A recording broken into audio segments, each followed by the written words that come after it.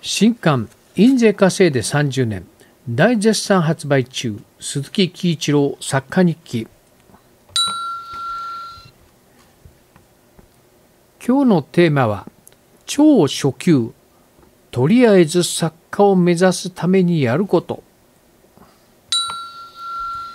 2021年8月20日です。今日はね、えー、今日はちょっとパターンを変えてまああ元になる原稿元になるっていうかまあ質問とか原稿なしでとりあえずこんな話をしましょうやっていうことです。まあもう一度テーマを繰り返しますね。今日のテーマは超初級とりあえず作家を目指すために真っ先にやることです。まあ大きく 3つ先にやることがあります。執筆道具を揃えるが、まず第一に執筆道具を揃える。揃える。第二にどうなりたいか決める。第三にどういうルートでプロになるかを決める。まあ、この3つをとりあえず先にやっておきましょうということです。まず第一、執筆道具を揃える。ここで絶対に必要なものというのは2つパソコンとそしてインターネットの回線です、えー、手書きはもう手書きの応募は受け付けないと思ってください。でパソコンに関して言うとまあスマートフォンでもいいかなっていうまあそういう時代になりました。えー、ただスマートフォンで書く場合には、はあ、文字数が分かること。それから、あ、結構文字数多いですのでキーボードスリック入力でその300枚の原稿を書くのは大変なので、まあ、キーボード Bluetooth のワイヤレスのもので十分なのでそれは必要です。でテキストエディターはいるかなっていう気はちょっとしますね。えー、文字数が分かるということが大切なので、えー、テキストファイルで、えー、まとまったものができるように。まあ僕は Chromebook、ChromeOS を使っているので、まあ AndroidOS も併用しているので、えー、まあイオタプラスだとかキャレットモッドなんかを僕はその Chromebook を使う時には使ってます。まあインターネット回線に回線に関してはもう別にあれこれ言うまでもないですね。そしてその次2番目どうなりたいか決めるです。つまり趣味で書くのかプロになりたいのかっていうことです。で、まあ小説の場合他のアートと大きく違うのはその小説の場合趣味で書くという時には読者お客さんというのはゼロだと思ってください。そこが音楽ですとかイラストですとか俳句や短歌と大きく大きくというか決定的に違うところですね。えっ、ー、と趣味で書く場合に読者はいないものだと思ってください。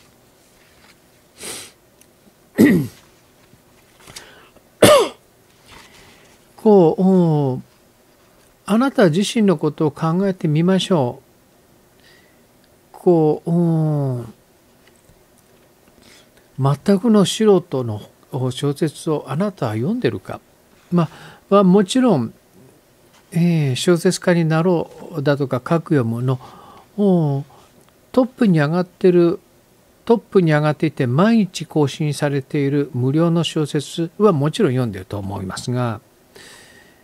それは趣味で書かれてるかというと決してそうではない。結構あの非常にその何ていうんですかねああいうネット小説で上位に上がる人っていうのは非常に規則正しく戦略的で実に勤勉に更新しておられるのでこうもう気楽にちゃちゃっと書いたっていうのとはかなり違います。割とその、うん、なんていうんですかあ小説投稿サイトって参入障壁が低いのでこうちゃちゃっと書いたそれこそ落書きに毛の生えたようなものとそれからこうプロ中のプロが書いたものと同じ場所でこう読者 場所で発表されるのでこうプロとアマの境界線が低くなってっていうふうに勘違いする人は多いんですけど大きく違いますからそこら辺を間違えないようにすることが大切です。3つ目、えー、どういうルートでプロになるかを決めるんです。えー、現在のところもうほぼ2つしかプロになるプロになるためのルートって2つしかないと思ってください。一つは小説投稿サイトに投稿してそこからあ出版社からのピックアップを待つそしてもう一つは新人賞に応募するこの2つですでかつては持ち込みでデビュー、まあ、例えば編集者に知り合いがいるとかああいうことで、まあ、そこそこの実力があって編集者と知り合いがあるんだったらじゃあちょっと読んでくれるとかって言って読んでもらってそこからデビューっていうものが30年ぐらい前はありました。で大体まあ大体2006年ぐらいこれはえっ、ー、と何が何でも新人賞を取らせますだったかな。うん、確かそれに書いたと思うんですけど、大体2006年ぐらいを境にして、新人賞が急に増えてます。で、大体それを境にして、そこから、それ以前はもういろんな人いたんですけど、それ以降はもう本当に新人賞を受賞してないプロの方が珍しいんです。で受賞というのは例えばあ本賞のほかに金賞だとか読者賞だとか奨励賞だとか拾い上げデビューだとかそういったいろんな形の変則的な、うん、受賞デビューっていうのはありますけども、うん、まあ持ち込みはないっていうことは思ってください。でましてや自費出版からこうプロになるなんていうことはもうゼロだと思ってください。えっ、と、うん。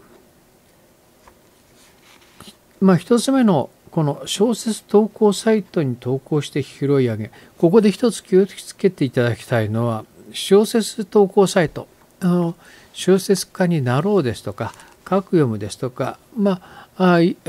エブリスタですとか、まあ、いくつかあるんですけど小説の投稿サイトに書く小説と新人賞に応募するために書く小説とではその書き方がだいぶ違うっていうのがまあ実感です。で方法論がだいぶ異なるので、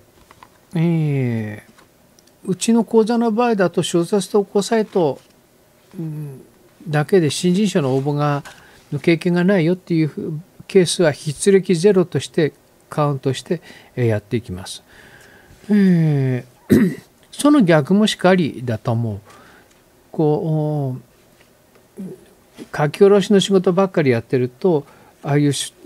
あの小説投稿サイトでカウントを上げるのっていうのはあまりにも毎日毎日のその締め切りが厳しいのでまあそこら辺に果たして耐えきれるだろうか。あの毎日毎日のそのポイントの取り方をいつもチェックしていなきゃいけない。っていう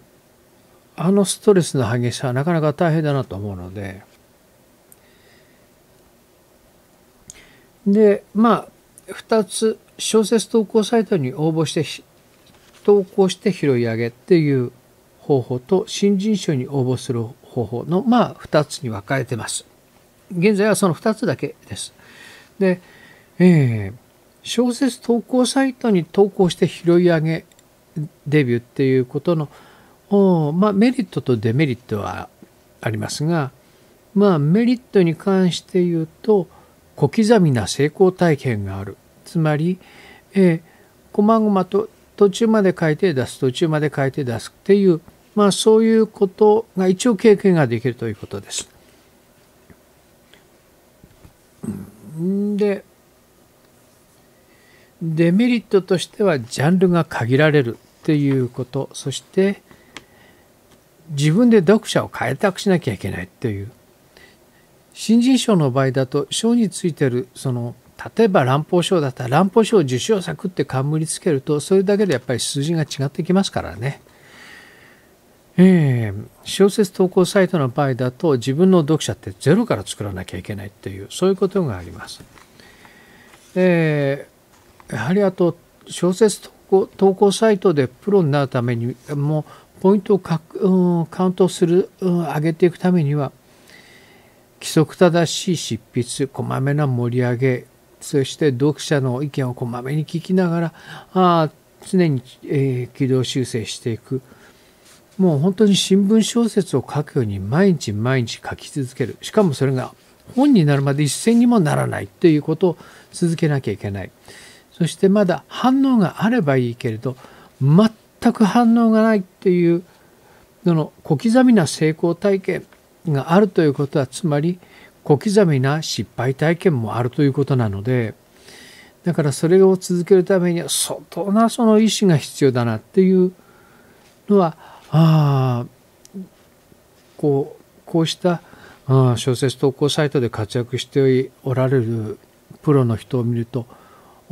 つくづくあんな厳しい仕事をしなきゃいけない厳しく仕事をしなきゃいけないのかってこう背筋が伸びるっていうことは結構あります。で今のところ、まあ、はっきり言うとプロを目指すんだったら新人賞を経由した方がはるかに楽だはるかに簡単だよっていうことは言えます。まあこれはうちの講座から新うちの鈴木喜一郎小説講座で、えー、受講生がパンスかパンスが受講受講受賞してデビューするっていうのは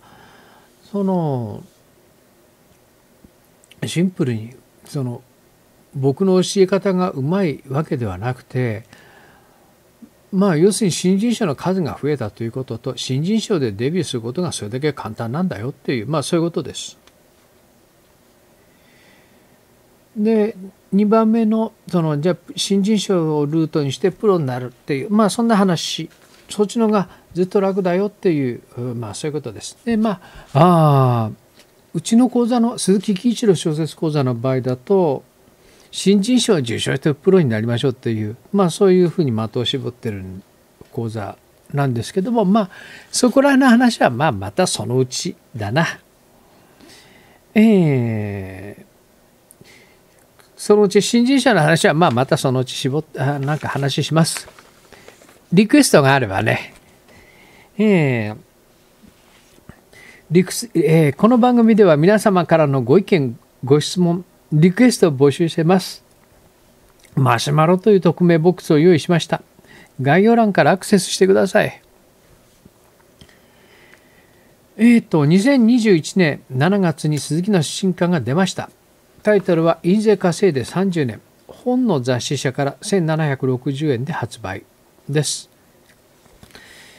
この番組は皆様からのあ違う違うこの番組はサウンドクラウドをキーステーションに Apple Podcast、Google Podcast、Spotify、Podcast Addict、TuneIn Radio、CastBox の7曲ネットでお送りしています。というところで、えー、今日の鈴木喜一郎作家に聞き、そんなところです。ではではでは、失礼します。あ、間違えた、こっちだ。ではではでは。